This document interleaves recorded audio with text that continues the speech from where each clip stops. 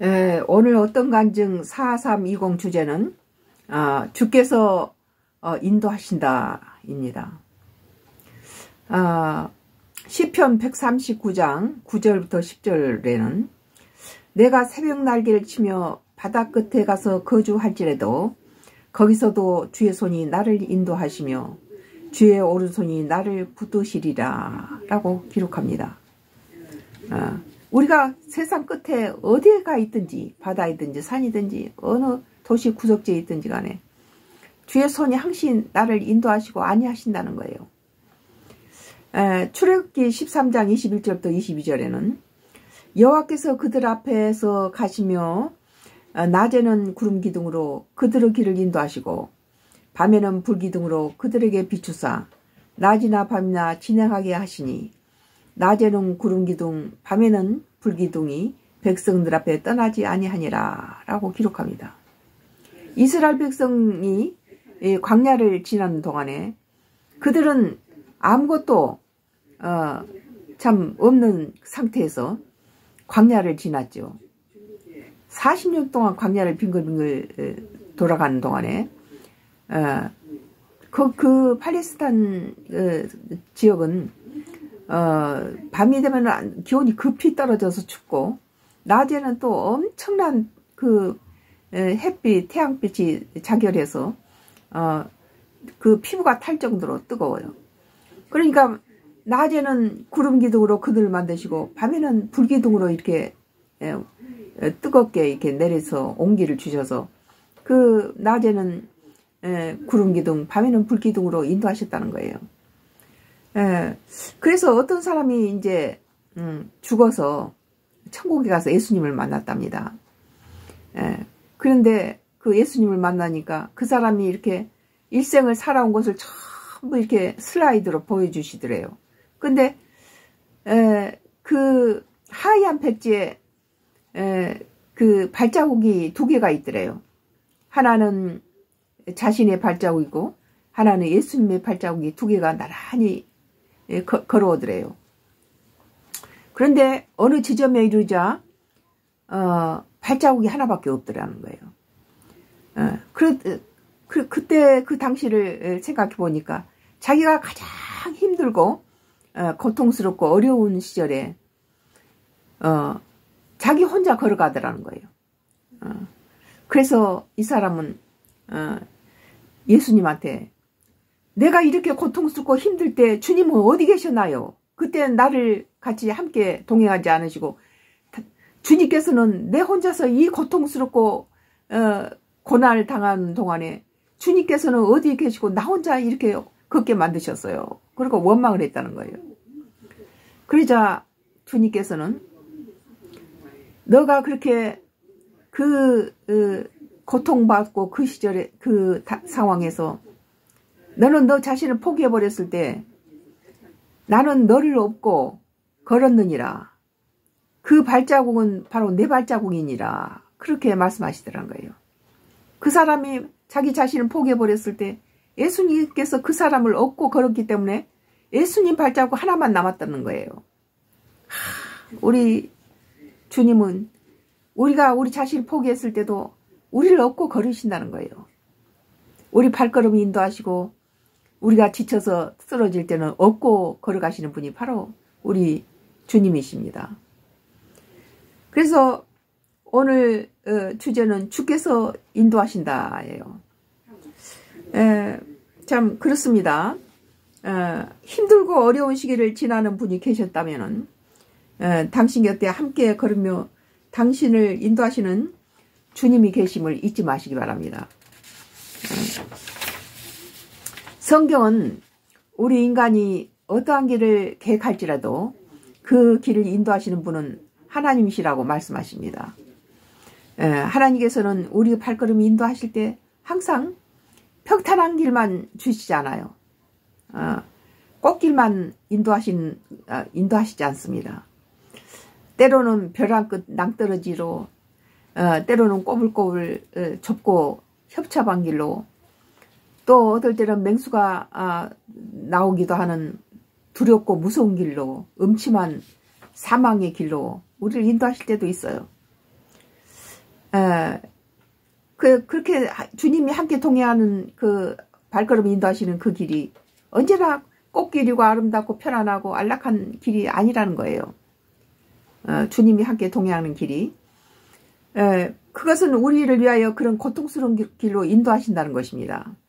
어, 우리 속담에 이쁜 아이는 매 하나 더 때리고 미운 자식은 떡 하나 더 준다는 속담이 있듯이 에, 해초리를 때려야 할 자식에게 떡을 준다는 것은 그 자녀를 포기해버린 것이죠. 부모가. 에, 해초리는 바른 길을 가도록 훈계하는 것입니다. 에, 그래서 성경은 어, 좁은 길을 가기를 힘쓰라. 어, 참 넓은 길은 음, 에, 평탄하고 어, 넓고 어, 참 편해서 그 길로 가는 사람이 많으니라. 그러나 그 길은 멸망의 길로 인도하고 좁은 길로 가기를 힘쓰라. 그 길은 좁고 협잡하고 가는 이가 적느니라.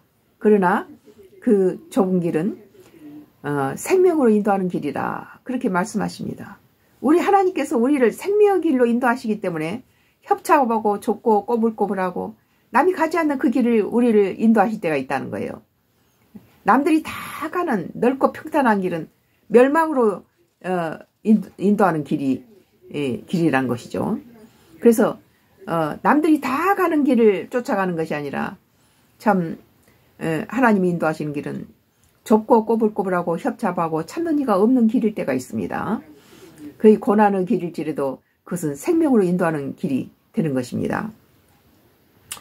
어, 저는 어, 제 나이도 춥지 않는 이 나이에 초행길에 이제 운전을 하고 몇 군데 도시를 돌아가, 돌아다녔어요.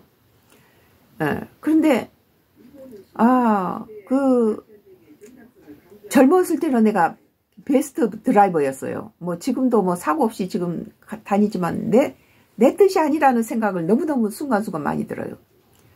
어, 그 어떤 지점에 가서 오른쪽으로 갈까 왼쪽으로 갈까 내비를 켰지만 내비도 어, 작동하지 않는 그런 길들이 간혹 있어요.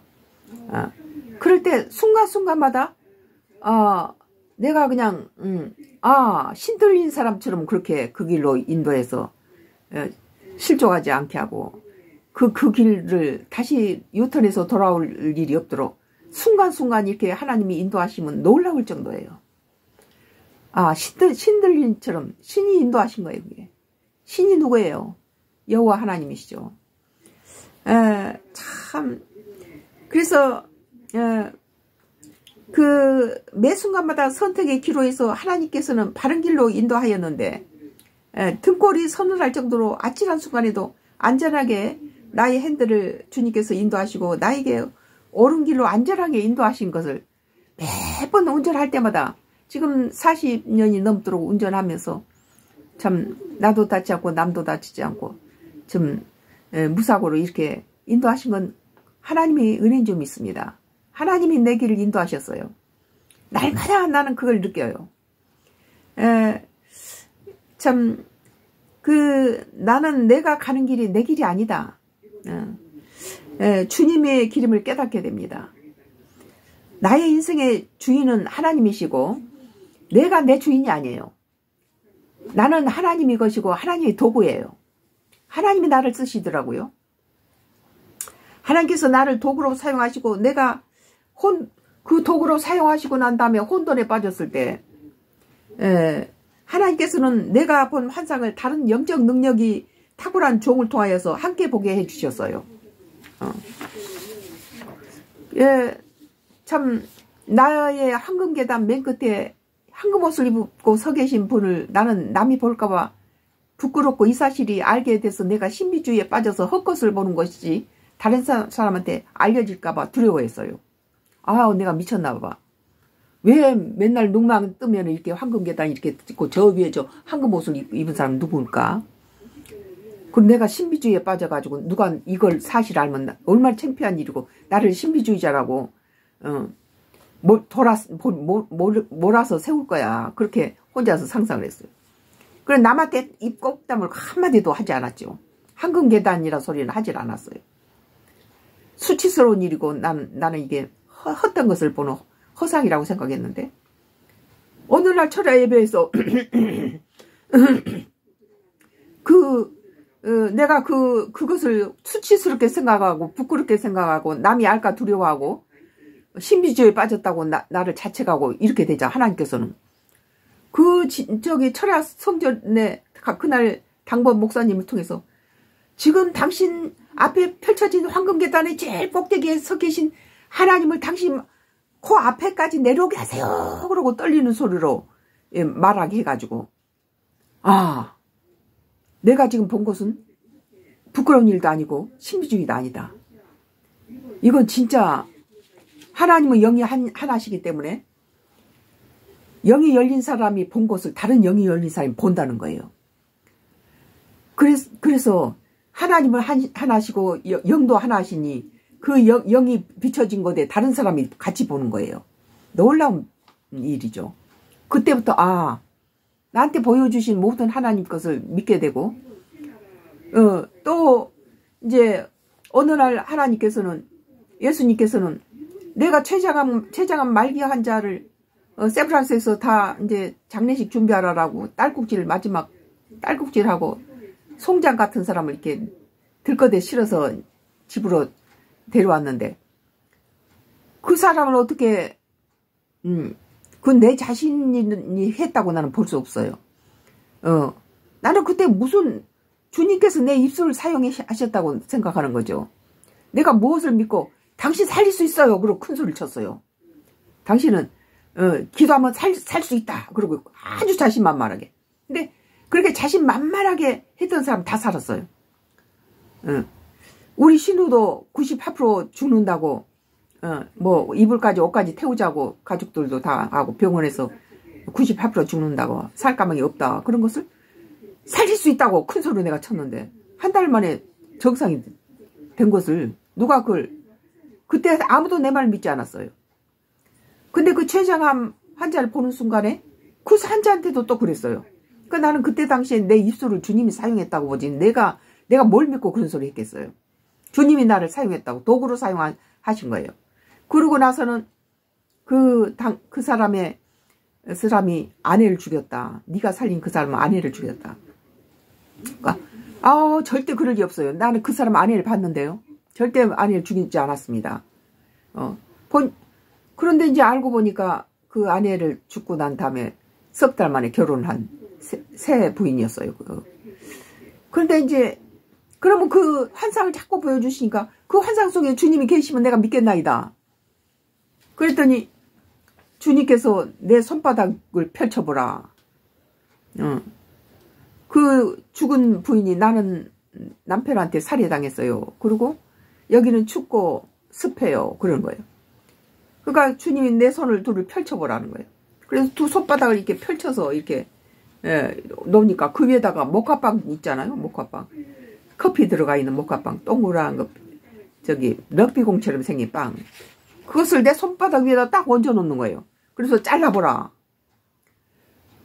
자르니까 그냥 그 풍선이 푹 공기에 올라가듯이 솟구치면서 그 부인의 하얀 옷자락이 촉구깃한 것이 공중으로 올라가서 중간쯤 되니까 흰 무리들이 내려와서 천사들하고 에워싸니까 그게 아주 다림질한 것처럼 펴지면서 하늘로 올라가더라고요. 그러고 나는 이제 멍하니 그 안정을 못하고 멍하니 그렇게 돌아다닌 그냥 기도도 안 되고 철야 가도 기도도 안 되고 이거 있는데 하나님은 도구로 사용하시고 나서 그 도구가 안정을 못하고 음, 멍한 상태가 되니까 또 주의 종을 시켜서 어, 여러분 여러분들은 어, 마지막 때 예수님이 재림하셔서 오시면은 무덤 속에 든 자가 어, 무덤이 터지고 하늘로 오른 걸 믿으십니까? 그러니까 어, 성도들이 아멘 하더라고요. 그러니까 나를 딱 제일 앞에 가 앉아 있었는데 나를 딱 주, 지목을 손가락으로 지목하면서 당신도 보고 나도 보았다 그러는 거예요. 이렇게 하나님께서는 우리를 하나님의 도구로 사용하시고 우리 발걸음을 인도하시고 하나님의 일로 사용하시고 나서는 또그 어, 침체되고 그걸로 인해서 상처를 받고 멍한 상태가 되면 또 영이 열린 사람을 통해서 그걸 보게 해서 돕게 하시더라고요. 아 놀라워요. 에, 참 하나님은 한 분이시고 영도 하나시니 에, 하나님께서 인도하시고 도구로 사용한 사람은 하나님의 영이 열린 사람은 함께 공유한 사람 에, 함께 공유한다는 사실은 참으로 놀라운 일이에요. 에, 에, 우리는 우리의 주장을 내려놓고 어, 주가 나와 나의 삶을 주장하시고 나의 발걸음을 주님께서 인도하시도록 어, 순종하는 삶이 가장 하나님의 도구로서 보람이 있는 길이라고 저는 생각해요. 에, 내가 살아서 아직과 에, 고집이 세우고 하나님께 나에게 에, 손을 에, 그렇게 되면 하나님께서 나에게 손을 떼시고 떠나십니다. 나의 모든 고집과 모든 것들을 내려놓고 하나님 내 발걸음 인도하시고 나의 모든 걸 주장하시고 나를 도구로 사용하시도록 어, 에, 나를 죽이고 순종해야 되는 거예요. 에, 우리는 하나님께서 인도하신 대로 믿고 순종하는 삶이 가장 복된 삶임을 에, 깨닫게 되는 것입니다. 그래서 오늘 우리 어떤 가정 4320의 주제는 주께서 어, 인도하신다는 거예요. 에, 오늘 음, 어떤 가정 4320 어, 어, 어, 말씀을 끝내고 또 잠시 후에 축도와 중보기도가 있겠습니다.